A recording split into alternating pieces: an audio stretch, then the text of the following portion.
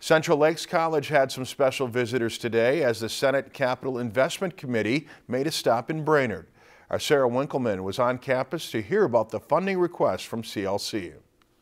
It's all part of student success.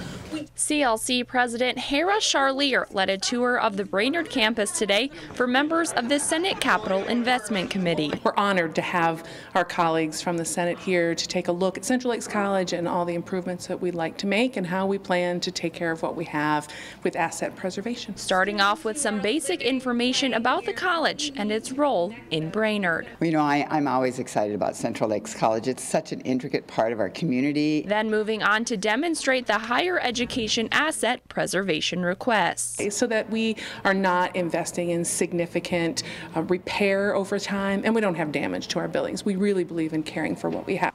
There are three project priorities on both the Brainerd and Staples campus that total just over $7.5 million. They're not very exciting, but they're absolutely critical. We have a significant roofing project here in Brainerd, um, another significant roofing project on the Staples campus, and a number of air handlers and air conditioners that we really do have to replace. Central Lakes College is requesting just under half a million dollars to help with renovations of their Student Services Center. We can create even a more well welcoming environment for students, easier to see where to go, and put our student support services both on the student side and the academic side right in the hands of the students. An idea that Senator Carrie Ruud is passionate about. And we want to do better for them because our students are changing, um, the careers are changing, and so our college needs to change too. Those ideas will be taken into consideration with other priority requests from around the state.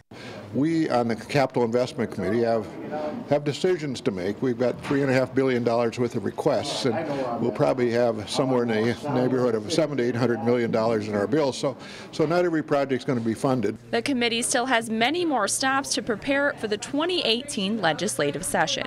Reporting in Brainerd, Sarah Winkleman, Lakeland News. CLC was granted funding for a renovation project on the Staples campus from the committee in 2014.